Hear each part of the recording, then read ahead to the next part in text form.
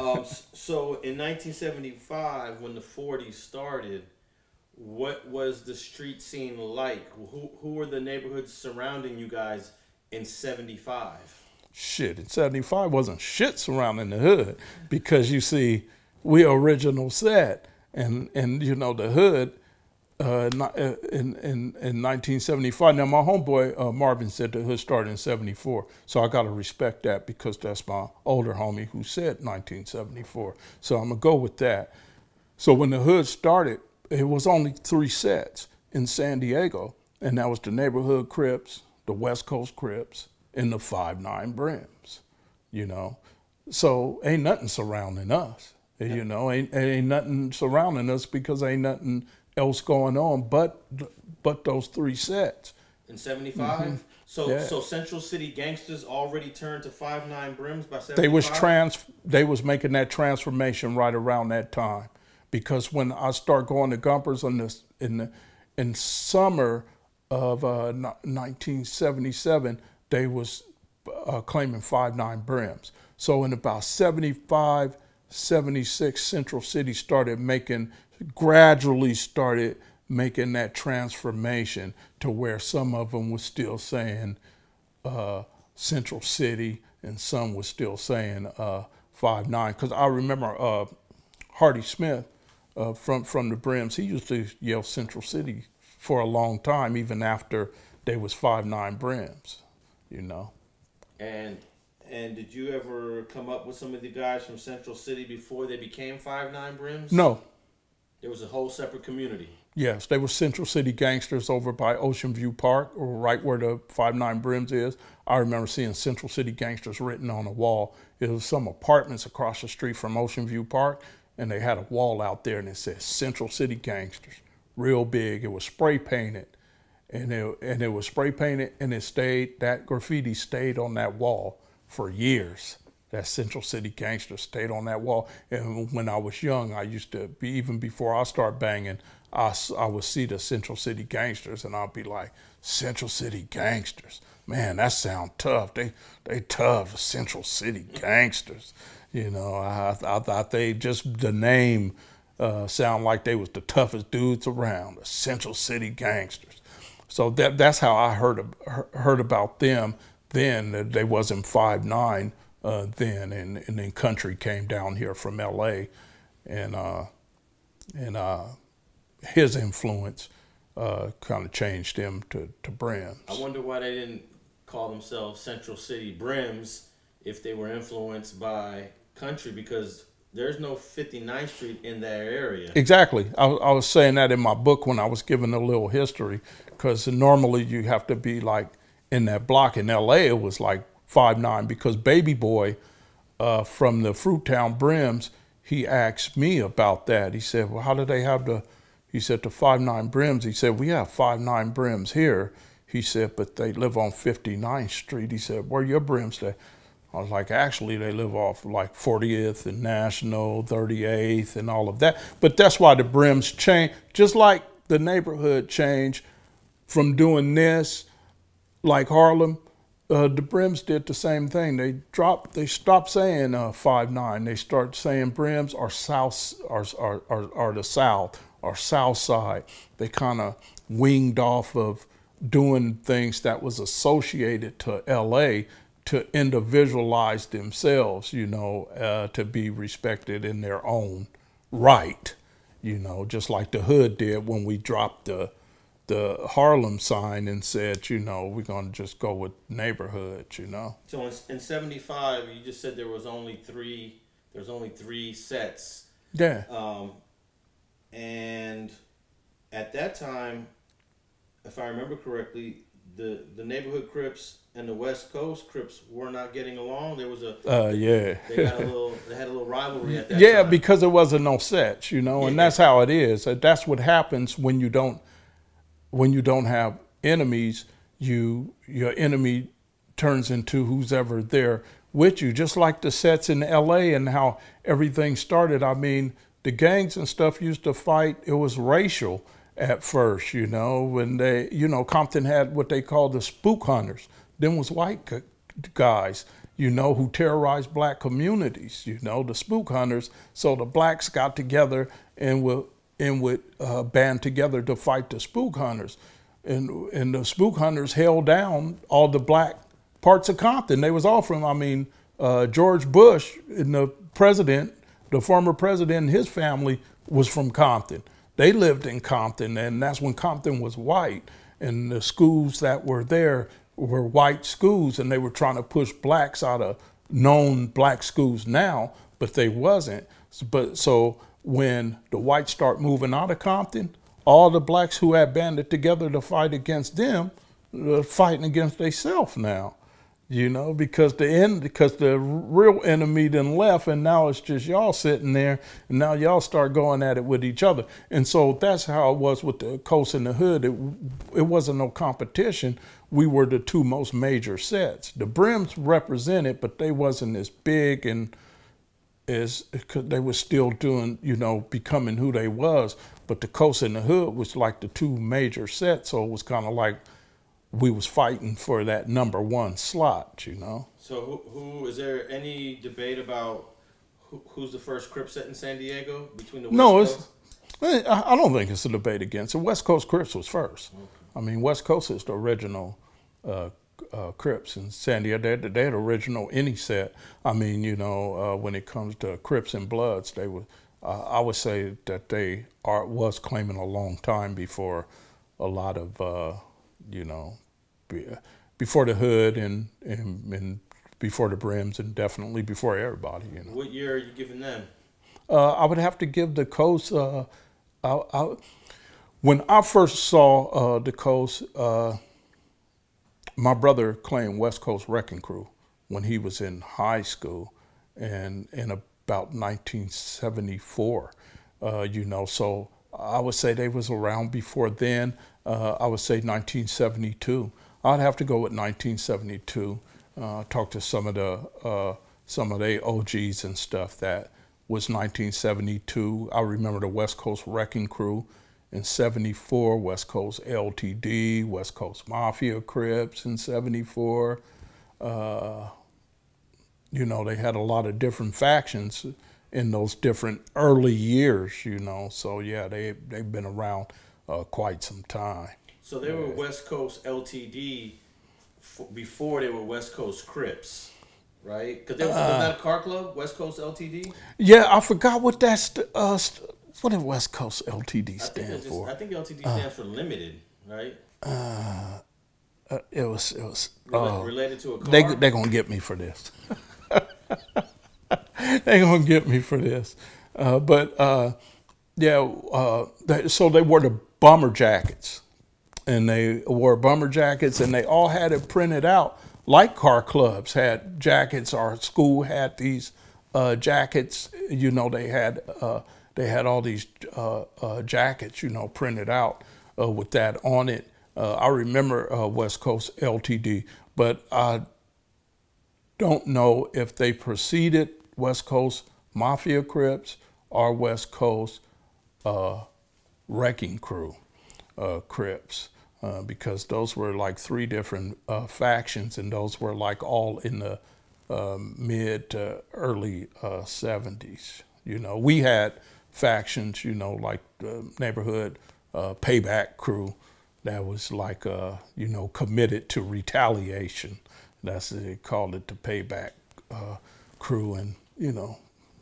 Okay, so now after after these three sets are in existence in the mid 70s, eventually San Diego sets start to pop up more frequently. What's mm-hmm. the what are the next sets that come on the scene? Uh, the next set uh, that I remember now, early on too, let me say this, uh, that there was a set called O'Farrell Park. And uh, uh, now it was called O'Farrell Park Boys, OPB. And they were around in the mid 70s as well. And when I actually went to O'Farrell, before I became a Crip over in the hood, they had uh, O'Farrell Park Boys, but they wasn't Bloods or Crips. Uh, actually, some of those guys became Crips uh, that was pretty much run. That was pretty much the ones who kind of started it early on when I was going to O'Farrell. Uh, I remember a couple guys. I ain't gonna I ain't gonna say their names because it has to do with uh, you know being from somewhere and then being from somewhere else, and people you know uh, trip on that. But everybody was from you know when it comes to originating of these gangs and stuff. You know a lot of people, a lot of things uh, transpired, and I, when I look I look at interviews between different of LA uh, gangs and some of their founders and they say, you know, I was from West Side.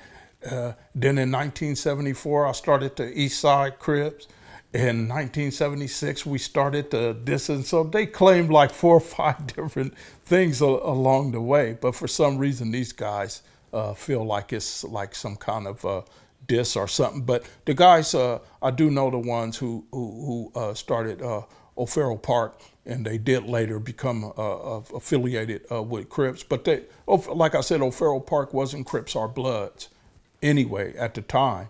At that time, wasn't none of them claiming Crips and wasn't none of them claiming Bloods. The guys who did become affiliated later on did that on their own without ties to, to O'Farrell Park being either any of that. O'Farrell Park are Bloods now, and uh, they, uh, they became a known Blood gang. So um, the Bunny Boys, they weren't out in. in they, did they come out in the late seventies? Bunny Boys, that's the Emerald Hills thing, right? Yeah. Yeah. Uh, no, no. Bunny Boys wasn't in, uh, in wasn't around in the, in the seventies. Bunny Boys wasn't. They were like in the, in the eighties. Before that, Emerald Hills had a set called Hill City. Okay Hill City. Now, it takes somebody really from Emerald Hills to know they had HC, and it, and it stood for Hill City, and it was written on the side of a wall in Emerald Hills in the in the late 70s. Uh, because see, my homeboy Woodlock, rest in peace, lived at right at the entry of Emerald Hills, uh, going into Emerald Hills, the entry. Woodlock lived right there, and we went through Emerald Hills a lot uh, back then because Emerald Hills was like a neutral ground because it didn't have no sets, you know, but it was a black community without sets, you know. So uh, we we went up to Emerald Hills a lot in the late 70s and like 1979.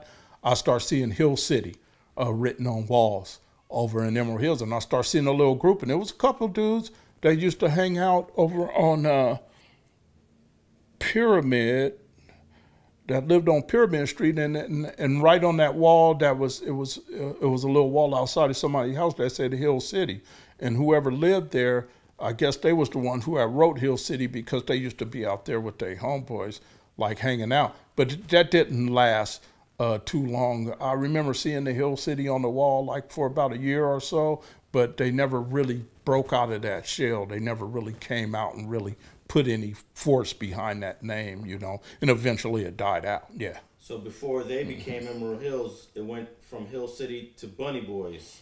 Uh, I guess the Bunny Boys started uh, after that. Yeah, it went, went from Hill City to, to I guess that Bunny Boy thing. I heard about them uh, being a Bunny Boy uh, thing. It was kind of like some play Playboy thing, like Encanto had to uh, considered himself Playboy. So Bunny Boys was like a Playboy uh, type thing too, from what I understand. It was like more of a Playboy type gang. And, and this community is where the the well-known Sagon Penn grew up, right? Was he or was he, he was from Encanto? No, the incident that with him happened in Encanto. It did. But he mm-hmm. lived in. He lived in the hood. In well, well, his uh, I don't recall him uh, living in Emerald Hills. Uh, his grandfather lived over in the hood. Sagon Penn was uh, actually uh, he was he was really close with, with, his grandfather.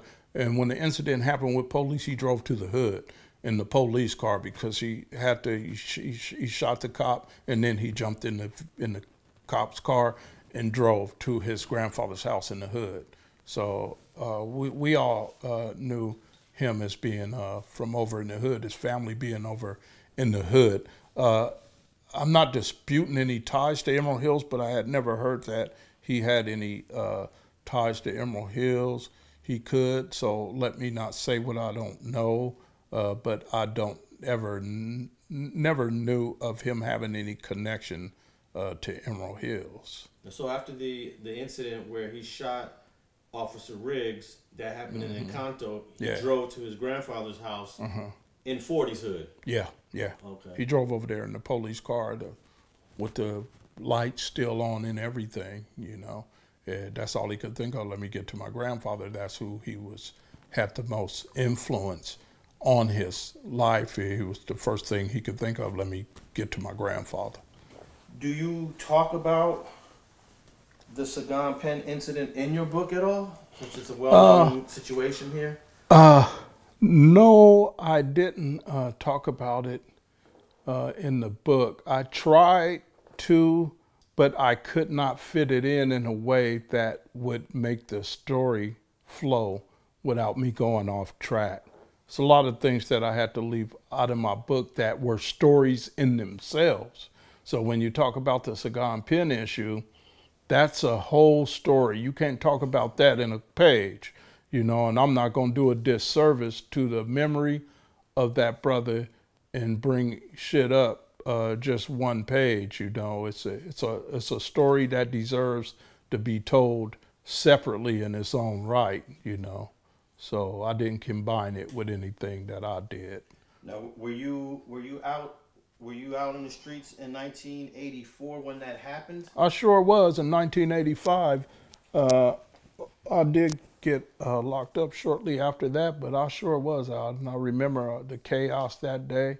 I remember seeing all the police cars headed over there, you know, and uh, it just was just it, the, the news and the police was police was red lighting it with sirens all the way from downtown to Encanto. That's a that's a hell of a long ways. They was coming from the actual police station that was in downtown San Diego with their sirens on, hitting the freeway, you know, driving miles out to Encanto to get there, you know, the whole way, you know.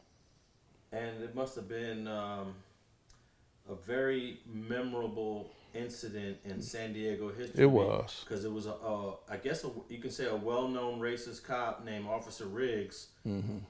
was killed by Sagon Penn with his gun. Right. Um, Yeah. Have you ever had any run-ins with Officer Riggs or knew about this officer?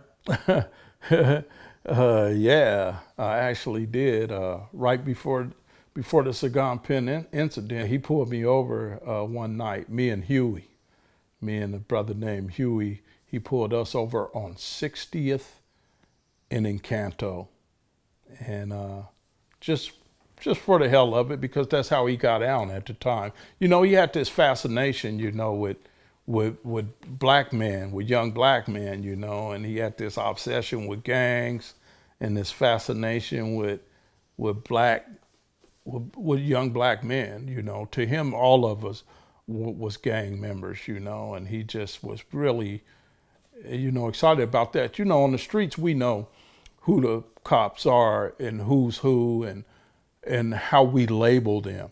So on the streets, you know, it was like we would say names of cops pulling up if they were known. You know, we'd be like, "Oh, here come Riggins. There go Riggins, y'all."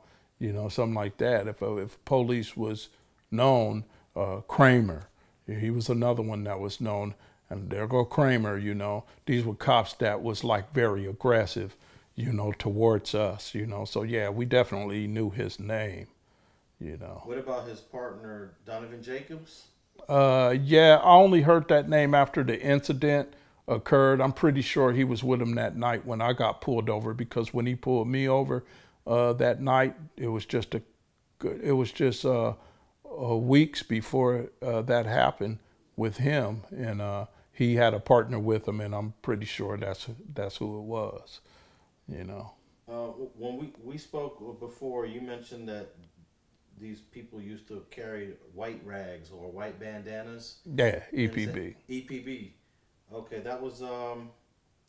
That's oh, so the Encanto Park Branksters they were they were white bandana dudes. Yeah, Okay. white and blue. They White would they would carry a white bandana, but they carried a blue one. They kind of intertwined them with each other. They carried two rags. Okay. All right. So, so by the time you get to the 1980s, the 40s well established, West Coast well established, uh, the five nine brims well established. But now you have like a bunch of other hoods coming in, and I guess um, Lincoln Park is well known. Skyline becomes well known. Emerald Hills is well known. Yeah, yeah. Um, you talk about this in your book in terms of the history of how the, all these hoods started to emerge. yeah. Um, so what what do you kind of t- tell talk